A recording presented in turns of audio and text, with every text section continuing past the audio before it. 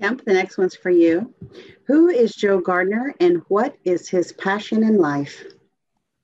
Well, Joe Gardner is a middle school band teacher in Queens, New York. But more importantly, Joe has always been an aspiring jazz musician. Um, if anything, I think if you ask Joe um, why he isn't doing jazz, he'd just say that getting to his goal has just taken him a little bit longer than than he would have expected. Yeah. His passion for life has always been music. It's always been playing music, playing the piano, playing jazz. Kemp, how did Pixar capture the true flavor of New York City?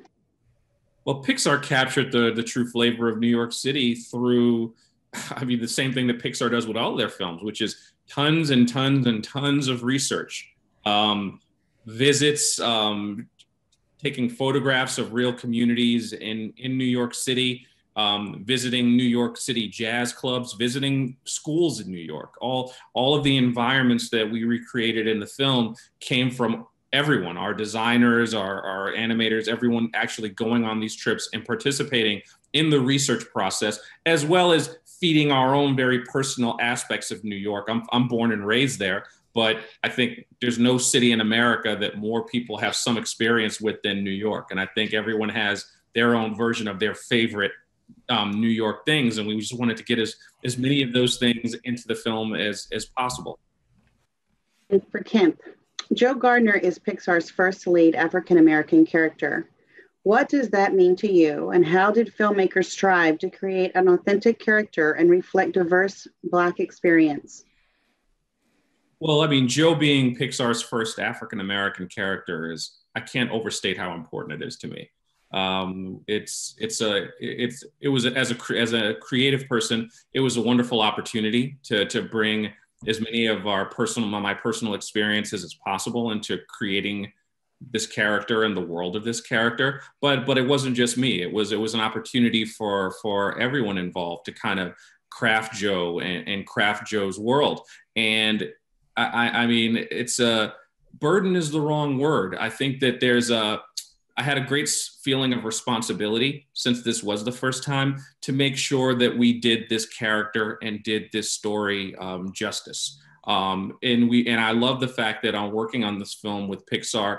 We weren't asked to shy away from that authentic Black experience, from those authentic elements of of Joe's life and Joe's culture. Um, and by not shying away from them, I think it even makes the story seem more universal than than it would have been. Joe is not a generic character who just happens to be black.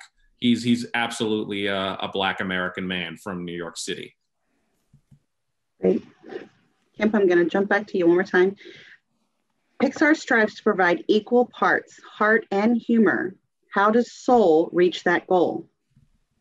I think Soul reaches the Pixar does strive to provide equal parts, heart and humor, and I think Soul achieves, achieves that goal by doing the same thing that almost every Pixar film does. I think Pixar has a tried and true creative process that involves trying lots of things and failing lots and lots of times until we find the story. We find the story that we're trying to tell. We find that emotional story. I think the humor is always something that we know will eventually come. So that is never the focus in, in the early stages of making these films. The focus is just on telling the most relatable, powerful, potent story that we can because there are just so many funny people in house at Pixar that that you could just do a movie with two hours of gags and it might be the funniest movie you've ever seen. It's like that's how many funny people are just kind of floating around. So the one thing we never worry about is being able to add the humor because you know Pixar there's a there's a lot of funny people um, walking around in the halls of um, of that building.